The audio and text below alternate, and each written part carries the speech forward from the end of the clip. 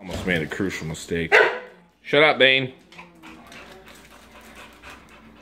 The gender pop reveal. It could be blue. It could be pink. Get him some scissors. He's struggling.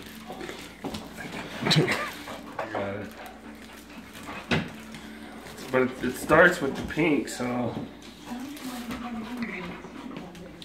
It's pink. Yeah. I think it's a girl. So I guess just bite it. We'll see what happens. it's fucking poison. It's a girl! I knew it! wow. Glad we bought these.